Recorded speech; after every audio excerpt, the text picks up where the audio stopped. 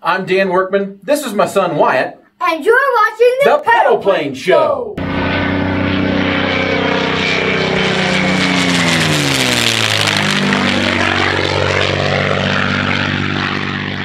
Welcome to the Pedal Plane Show. I'm Dan Workman. And I'm Wyatt. And we are back for Series 3. We've got more great interviews coming your way with pedal plane builders from all over the world. But first, we need to address the 747 in the room. We've got a brand new title. Why do we have a brand new title, Wyatt? We have a brand new name because this year we're focusing more about the pedal plane. That's right. We love making our annual trip to Oshkosh for Pedal Venture, and we love taking part in the Pedal Plane Parade, and we want to do it for years to come. But last year, we had a lot of fun talking to our fellow builders and sharing their stories and their inspirations, why they build the pedal plane, and watching their pedal planes come to life. And in Series 3, we have four great interviews that we can't wait to share with you. But it's not just about the interviews. What else is going to happen in each episode? Wyatt? In every episode, we're going to have Rob Peterson tell you how to get the best paint job done on your pedal plane. That's right. Rob's going to stop by every episode for a special technical segment. And this series, they're all focused on paint and finish. Now let's get started because we have got a lot of miles to cover. When we say we're going worldwide this year for the Pedal Plane Show, we're not kidding. We're talking to pedal plane builders in Brazil, the UK, and Australia. That's right. And you wouldn't think that a P51 from Brazil, a Piper Cub from Australia, or a Pete and from the United Kingdom would have much in common. But in fact, they share one very important thing in common. They all started life right here at Aviation Products. We're in Cedar Rapids, Iowa today. We're going to take you inside this shop right behind me and show you how pedal plane plans and pedal plane kits are made.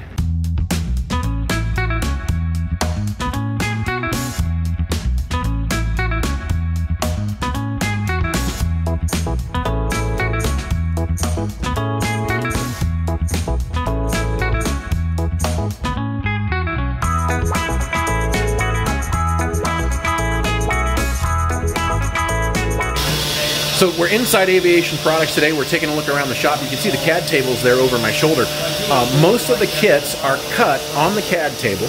Um, you can see the F4U Corsair sitting there. Uh, that's the second CAD table that they've just bought um, so that they can increase production and productivity.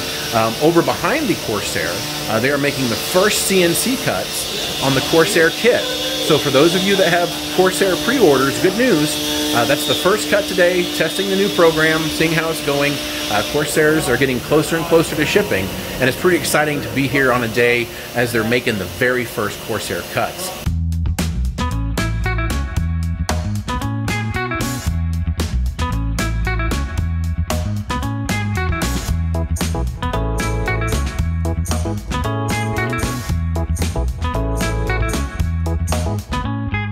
One of my favorite parts about coming up to aviation products is uh, the pedal planes that hang on the wall. You can kind of see some of them uh, over my shoulder there. Uh, some of these are models that uh, aren't produced anymore, um, and usually they're the first of a model. They're the prototype or the first one that was built. Um, there's also some real interesting pieces of aviation products history, uh, like this Mustang uh, that's over my shoulder. that's actually signed by Chuck Yeager and Bud Anderson. And they originally thought when they found the signature uh, one morning as they were cleaning them off up at Oshkosh, they thought someone had scribbled on it. And as soon as they saw it, they went right over and they put a piece of tape down. And then you know you see parts of the company's past, and then every now and then you get a you get a look at something like this thing over my shoulder back here that you kind of get the impression that it's new. And you know that kind of looks like a crop duster. It kind of looks like a racing plane, and I just I can't think of anything that looks like a crop duster and a racing plane.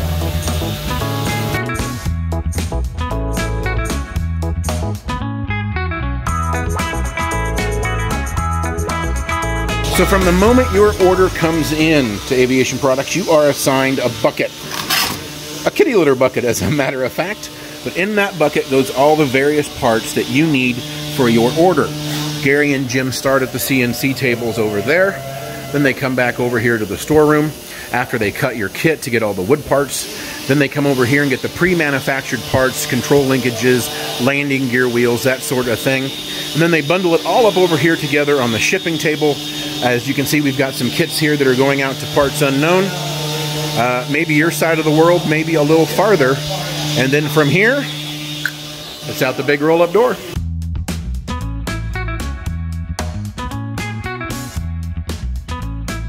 I'm Gary Sampson. Um, I currently own Aviation Products. Uh, we make pedal planes.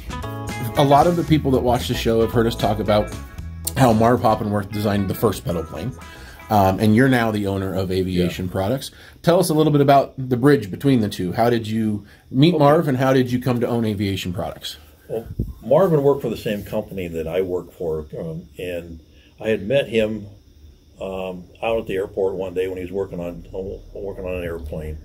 Uh, I made one. I, I, picked up a set of plans at Oshkosh one year, and made a Christen Eagle for a charity here in town to raise money uh, for their camp for, for disabled kids.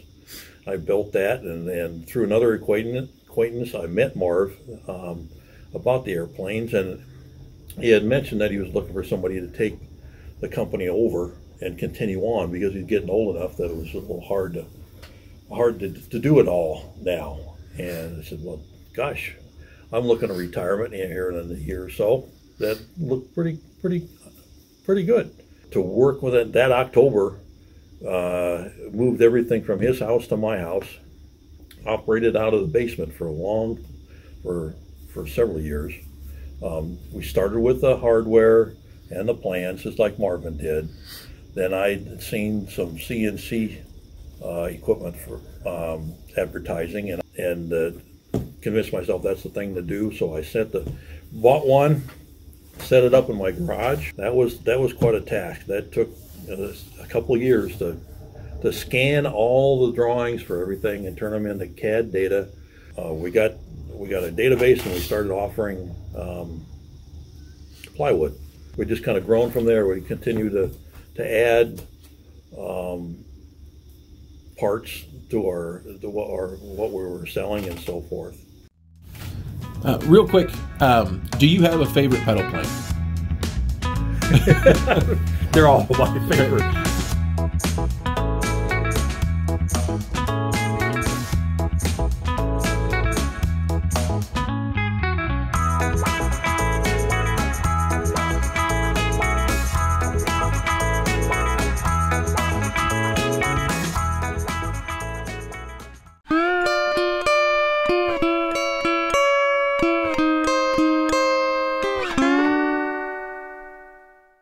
Now, ladies and gentlemen, it's time for a brand new Pedal Plane Show segment, Pedal Plane News.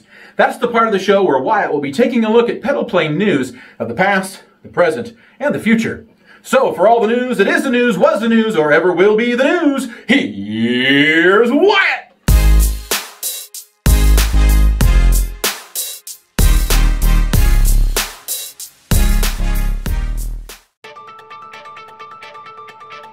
Dateline, Oshkosh, Wisconsin. Due to the coronavirus pandemic, Pedal Venture has been canceled. We reached out to a fellow builder to get his reaction. Yeah, I think it stinks.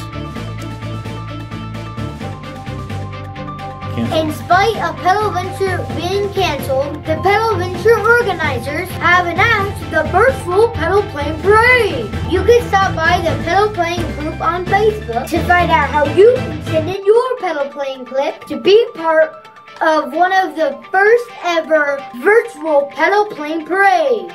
See the link below for more details. Now for pedal plane news of the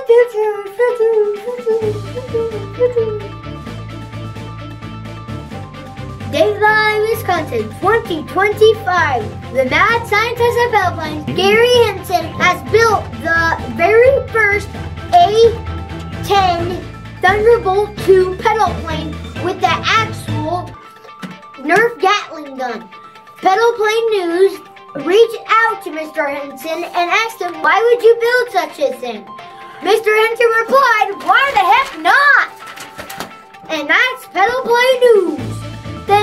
everybody. You've been great, and I've been Wyatt. Now it's time for our technical segment, and our good friend Rob Peterson is taking his years of pedal plane experience to share some tips and tricks with you, our fellow builders, on how to get the best paint job for your pedal plane. Rob's built over a dozen pedal planes, and in fact, he's working on. Whoa! Dad. We should probably talk to Rob about that later. Good point. We'll let Rob tell you about his big project later. But in the meantime, Rob Peterson's here on the Pedal Plane Show to talk about paint and finish.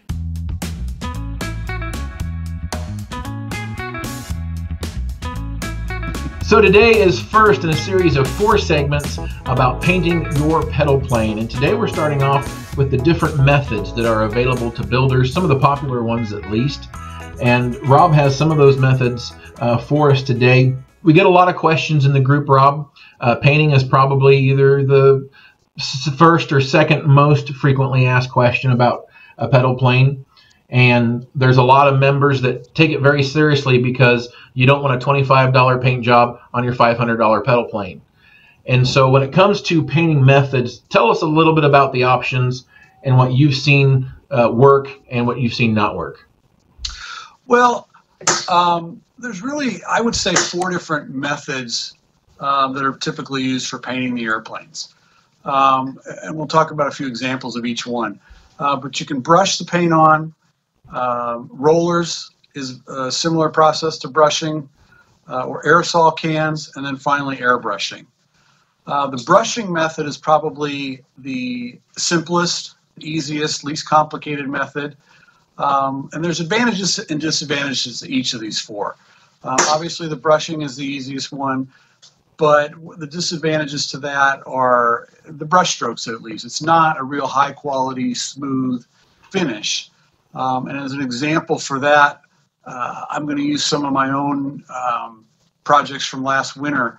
I refurbished four airplanes for a local EAA chapter, and they were pretty old, pretty rough, uh, and they'd been brush painted. I can't even guess how many times in the last 20, 25 years. So it really didn't make sense for me to spend the extra time and effort to, to put a really nice um, sprayed finish on it. So I just sanded them down as best I could and brushed them again. Uh, but otherwise, I wouldn't probably use that on any of my airplanes because I like something, you know, a more polished finish to it. But it's easy. Um, masking of it's pretty simple, uh, inexpensive to do that method. Um, a step up from that would be to use a roller brush on it. And I've not used that method myself before, but I know Chris Jewett did a Gee Bee uh, a couple of years ago. He posted several pictures of the painting process for that airplane. And I haven't seen it in person, but the photos of it look really impressive, you know, better than I thought you could get using a, a brush, or excuse me, roll-on finish for it. So I would consider that to be a, a really good, viable method uh, if you're you're skilled with that. And it doesn't take a high level of skill to do a brush paint job. Uh, that's the other thing that they're kind of ranked at here is, in order of difficulty. The brushing, like I said, the easiest. Uh, a roller brush would probably be the next one. The third one is the one that I use the most, is just simple uh, aerosol cans that you can get at a, a hardware store. Uh, there's usually a pretty good selection of paint colors for those. You can, for some extra money, uh, get custom colors made and then put into aerosol cans, which I've, I've done a time or two in the past. Uh, and the difficulty level of it is, is not really high, but it's higher than the brush or the roller. Uh, but it usually, if you do it right, it'll give you some really good results. I've been really happy with what I've done for that. Um, a good example that I like to use for that type of method is the Rare Bear that I did a few years ago. Um, it's a really complex paint scheme on it with the checkerboards and fades, several fades um, from lighter to darker colors and everything. But with a little bit of practice, it's pretty obtainable and, and gives you a really nice finish.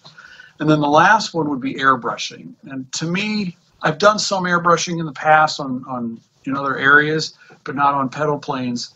Um, it's much more of an artistic uh, quality to it. Mike Badger, again, a few years ago, did a really fantastic P51 with some great weathering detail and everything.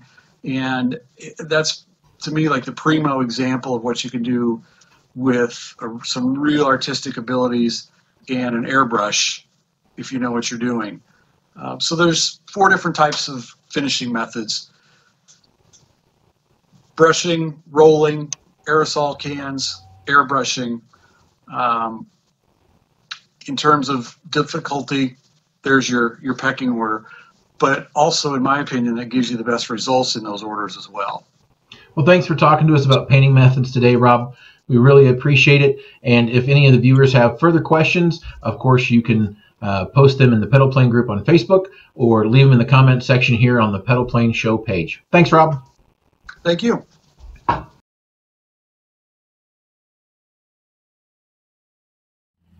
Hey everybody! Thanks for watching this episode of the Pedal Plane Show. It really, really means a lot. That's right. We had a lot of fun putting Series 3 together. We can't wait to share next episode with you when we're going to talk with Andre Fadrich from the United Kingdom. We'll be taking a look at Andre's original unofficial world record pedal plane event, which happened in 2017. And we'll also talk about the Pietenpol pedal plane that almost made it for the very first pedal venture in 2018. Until next time, I'm Dan. And And you've been watching The Plane Show.